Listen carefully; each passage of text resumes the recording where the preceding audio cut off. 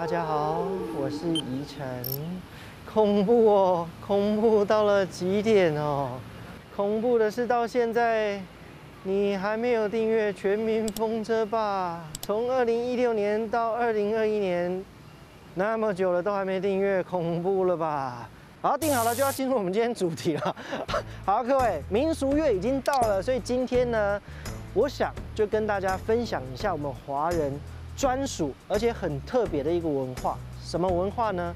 那就是纸扎师傅之汽车篇。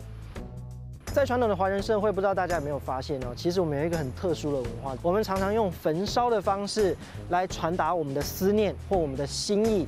那你会发现哦，那个纸扎啊，它实际的消费跟在现实生活当中又不太一样了。例如说，脚踏车啊，摩托车，它居然要两千多块。但是虽然它价钱很高，但其实有些还蛮精致的，让我自己都蛮想要收藏看看。所以这不禁让我想到，其实各位知道吗？在很多的网站上面，你可以直接下载列印出来，就直接做好的一个平面的半成品，然后你只要把它割下来，再把它粘好。就变成可能是你理想的那台 Dream Car 的纸扎车，所以我今天呢收集了很多的网站，我就把它介绍给大家。我不是要你烧啦，对，我借烧给你好了。收到，跟廖一成讲。哎，拜托，收到了，不用跟我讲。哎呦！啊，这个就是前面我。跟大家讲的，目前网络上的一些纸扎的一些产品，Gazoo Racing 它的网站，这个网站呢我会放在影片的资讯栏下面，提供给大家来看啊。那这个呢，它号称初学者大概啦，小学你花三十分钟就可以把它组装完成，所以这个可以把它当成一种期中考啊，美劳期中考发下去开始计时，然后太轻松哦，太轻松吗？我跟你讲，来。各位老师这边也有推出终极的，一样是嘎子的制作时间的指南，就是大概在九十分钟左右。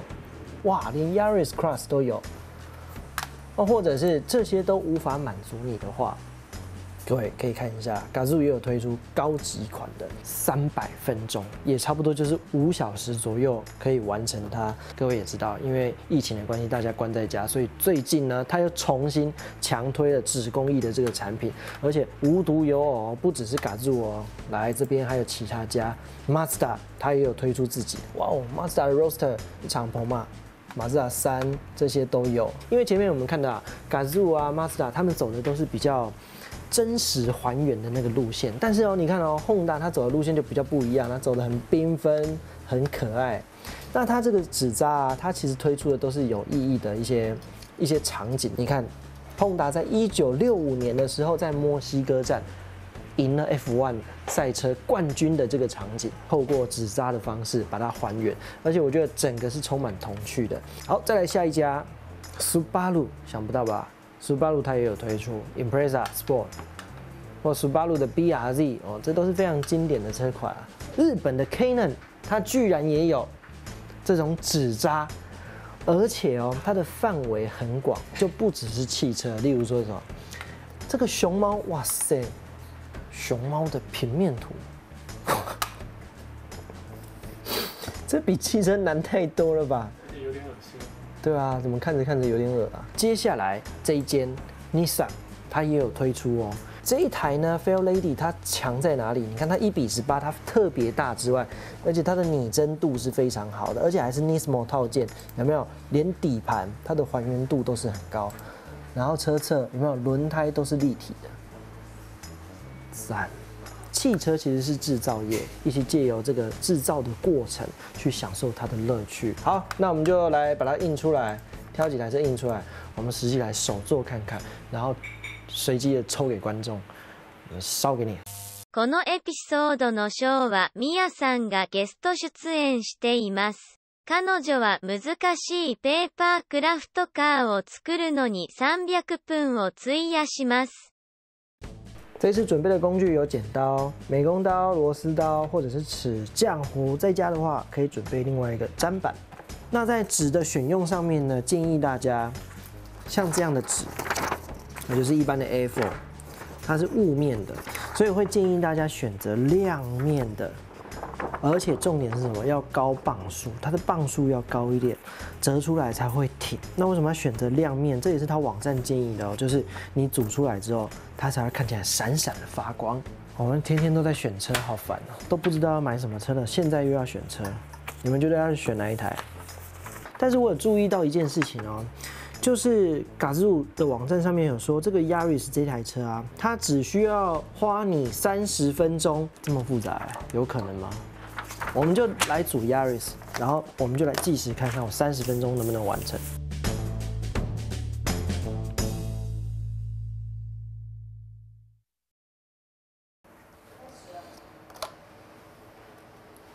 多久？一个小时三十三分十二秒。